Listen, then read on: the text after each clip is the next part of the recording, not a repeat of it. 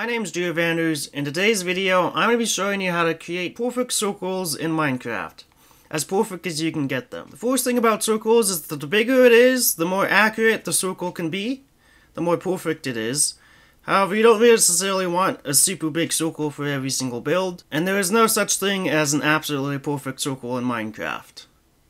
Maybe unless you got really, really big. The first thing to do with making a circle in Minecraft is to place down a center block. I've used the chiseled stone blocks for this. The next thing is that from the center block you want to have a radius amount. Say if you put down four blocks, that's your radius. And you put down another four blocks away from that as well, around each side. And then what I like to do, after I've placed down the radius, is place down blocks on the outside. Because most of the, these are all odd circles, so I always end up putting an odd number on the outside. It is normally either 3, 5, 7, or 9. I haven't really used... You can use 11, but I haven't really used that yet. Or very often. And once you got your little cross in here for your circle, you want to then figure out what angle you want the inside to be at. And so you tend to put down blocks in in a way that's like going down in order. So if you have a bigger circle, you could start with 4 and then go down to 3, then 2, and 1. You could also put it like this, but that would make it look way less circular, in my opinion. So you put it out like this, and then the next thing to do is that you want to copy that pattern down on every single circle corner. And while copying the pattern down to each side, if you have one of these lengths not correct to the other length, this is when you're going to figure out that your circle is not completely square. And when placing down your circle, you might want, say this, these two circles, they have the same radius.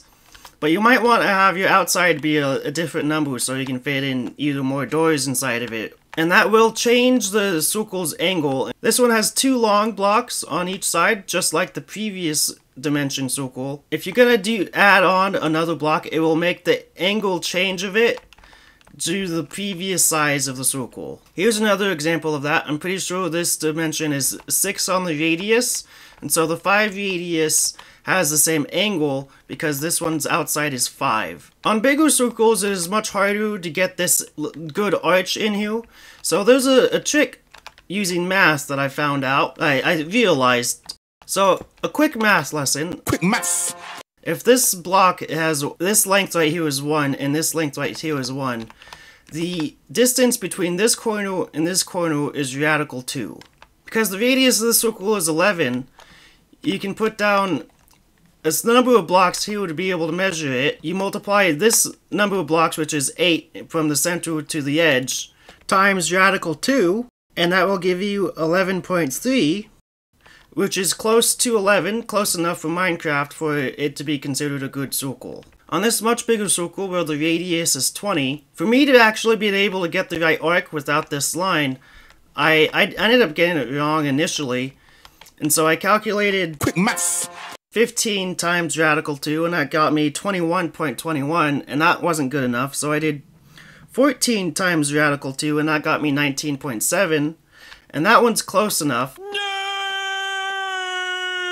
So I ended up having to change the ang the the arch of this angle right here for the, the circle to be 14 blocks long. I'm not gonna make a 40 radius circle, but I'm gonna I'm gonna start right here because I want this side of this circle to start right next to here. So what I do is I'm gonna count 40 over and copy that over three more times.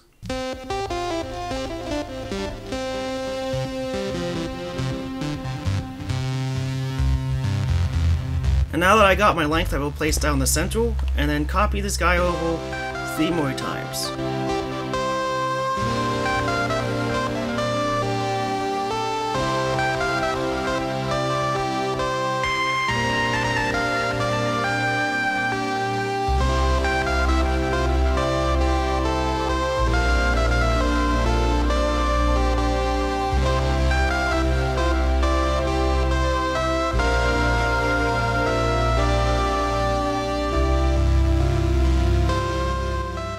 I have the length of the four radiuses on the on the circle.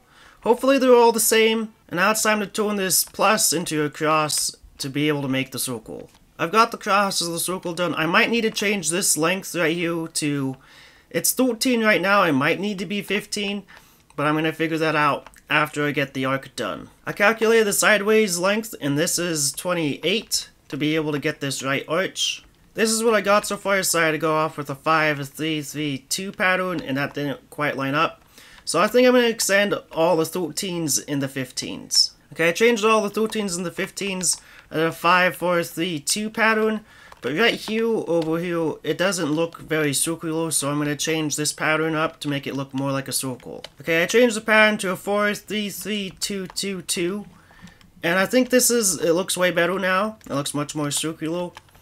And I think I think the hardest part, if you, as long as you got the radius right completely, I think creating this arch right here between here is probably the hardest part of creating any circle. I'm now going to copy this around to the every single edge of the circle.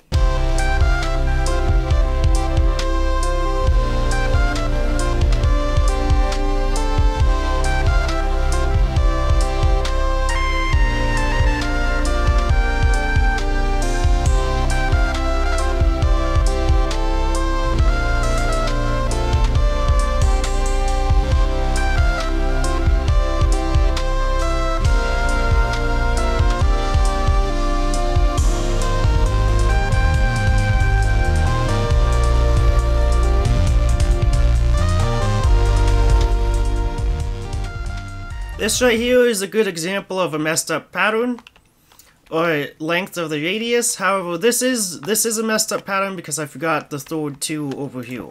And now it should line up perfectly.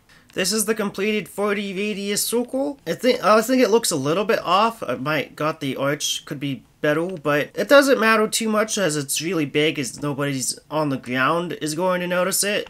Only people very high up above, say if you made this a tower, would be able to notice it being off. I hope you guys found this video useful or enjoyed it. If you did, please leave a like. It'd be fantastic if you gave me a sub sandwich. I'll see you guys later, and goodbye.